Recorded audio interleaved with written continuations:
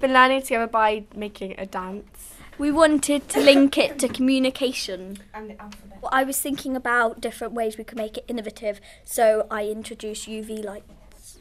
I've been thinking for myself by helping Tilly choreograph the dance. Well, we've been playing and experimenting with ideas of how we could change the dance and how we could change the letters and the shapes. We've doing purposeful practice by practicing our dance because we need to show it to the little ones and we want to introduce to them how they have their own voice and how they can talk in a different way. So we're going to show them the dance and they're going to say to us what they thought of it.